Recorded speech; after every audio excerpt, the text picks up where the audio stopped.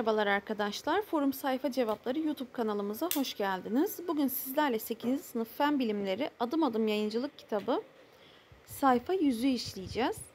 Konumuz 3. bölüm sonu değerlendirme cevapları. Amonyak temizlik malzemesi ve gübre yapımında kullanılan bir bileşiktir. Azot ve hidrojen gazların kimyasal tepkimeye girmesi sonucu amonyak gazı oluşur.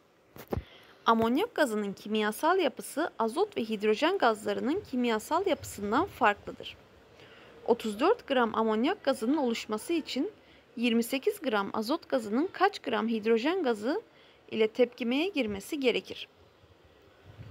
34 gram amonyak gazının oluşması için 28 gram azot gazının 6 gram hidrojen gazı ile tepkimeye girmesi gerekir.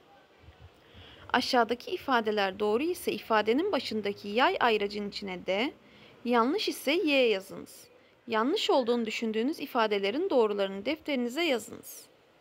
Kimyasal tepkimelerde kütle korunur. Doğru. Kömürün yanması bir kimyasal tepkime değildir. Yanlış. Bileşikler kimyasal tepkime sonucu oluşur. Doğru. Bileşikler kendilerini oluşturan maddelerle aynı özellikleri gösterir. Yanlış. Bileşiğin formülüne bakılarak bileşiğin hangi elementten oluştuğuna karar verilebilir. Doğru.